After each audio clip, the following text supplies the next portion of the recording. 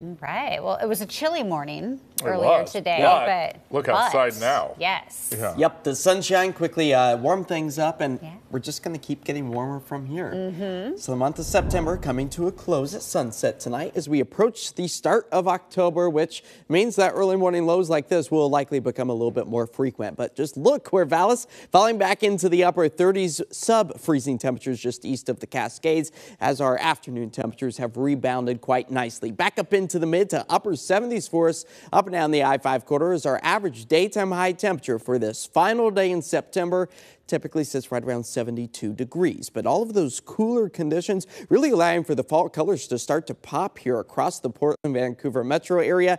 These were some of the views I was able to spot out towards the Tigard area just yesterday. And we're expecting to see more colors creep their way back into the I-5 corridor over the next week or so as much of the Cascades are currently in their peak fall foliage right now, all above about 5,000 feet. That's due to the cooler conditions we typically see up in elevation as our current winds uh, keeping a lot of those fall colors tightly gripped to the tree limbs, uh, hopefully doing just that as we see those gusts right around 17 miles per hour here in the city. We have the potential to see some of those gusts near about 25 miles per hour as we slowly taper back those winds through the overnight hours and into early tomorrow. As our satellite and radar shows calm, quiet, and clear conditions across much of our area, but we are lacking in the rain department. Only seen just a few days with the cumulative rain showers. The breadwinner was back on the 25th where we almost closed in at a half inch of rain, but that puts us below normal by over three quarters of an inch. That, of course, coming off the heels of a very toasty September. Now the second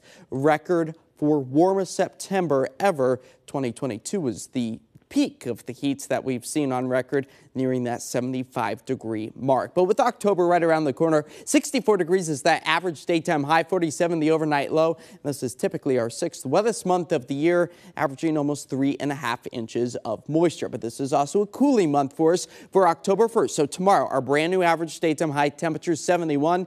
Come Halloween, 58 degrees is all we manage to typically get up to. So about a 13 degree temperature swing as we expect to dry things out over the next week, week and a half, and also warm our temperatures once more. So maybe not playing nicely with our averages as we expect to see the clouds move their way back on shore later tonight into the early morning hours, but then that will be broken down. The sunshine returns once more with maybe a stray raindrop or two tomorrow afternoon and evening for the coastline, but we will stay dry through the I-5 corridor and really staying dry through about the next week or so as we get to enjoy that sunshine. All thanks to a ridge of high pressure building off to the coastline and encompassing much of western sections of our country as we try to get this trough to move its way back on shore unlikely to do so until we get to the beginning of next week. So tonight here in the city, 51 degrees, that's where we fall to. Those winds will start to taper back. Tomorrow along the coast, 60s, even 70s possible. The I-5 corridor approaching 80 degrees in many cases. Out towards the east, still feeling a bit like summer with those low 80s